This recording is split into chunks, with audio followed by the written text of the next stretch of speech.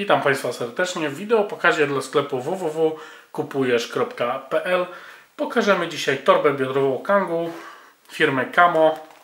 Tutaj jak widać mamy metkę, wszystkie dane są na tej metce e, wypisane.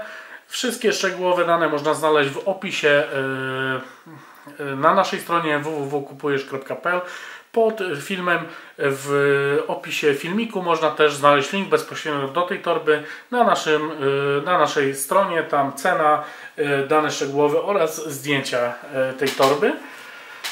Jest to torba w polskiej panterze kamuflażu Polska Pantera. Na naszych innych wideo pokazach można sobie zobaczyć torbę oliwkową, czarną w Kojocie i już niedługo na pewno będzie też w multicamie. Na chwilę obecną jest chwilowo niedostępna, ale na pewno jak tylko się pokaże, będzie dostępna w naszym sklepie, e, to też filmik się na sieci pokaże. Zacznijmy od torby od przodu może e, tak będzie najprościej. Z przodu jak widać mamy takie rzepy, można tu sobie przyczepić jakąś narzepkę na przykład taką flagę Polski y, oliwkową bądź flagę Polski zwykłą. Ale narzepki to już do, do kupienia osobno też do znalezienia na naszej stronie. Niestety nie ma ich w zestawie. Hmm, tutaj pierwsza kieszonka, która nam się nawinęła to jest przednia kieszonka, dosyć płaska na najpotrzebniejsze rzeczy, które powinny być zawsze pod ręką.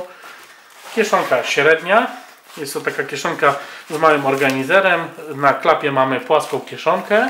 Dodatkowo tutaj jest taki no, coś ale organizer, takie gumy troczące, do których możemy sobie wsadzić mały scyzoryk, jakąś latarkę, mm, jakieś akumulatorki czy cokolwiek e, takiego, e, co potrzebujemy pod ręką mieć.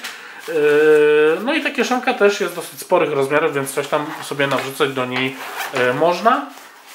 A co dalej? E, dalej na pewno mamy kieszeń główną.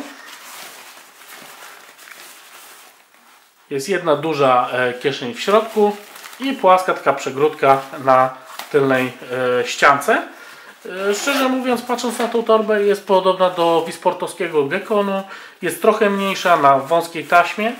Dodatkowo ma na klapie jeszcze taki ściągacz, tutaj możemy sobie przeciągnąć jakąś kurtkę czy czy, czy, czy wiatrówkę, czy jakieś, nie wiem, chustę, y, która nam y, po prostu przeszkadza, nie chcemy już jej nosić, możemy sobie przeciągnąć i po prostu nosić to na brzuchu, a jak nam niepotrzebne ściągnąć i tak sobie to będzie leżało. Dodatkowo co mamy z przodu? Przednia kieszonka oraz ta duża kieszonka ma kryty zamek, chroni to przed deszczem. Niestety ta kieszonka środkowa, w której jest organizer i prawdopodobnie większość osób będzie trzymała latarkę, niestety takiej ochrony nie ma.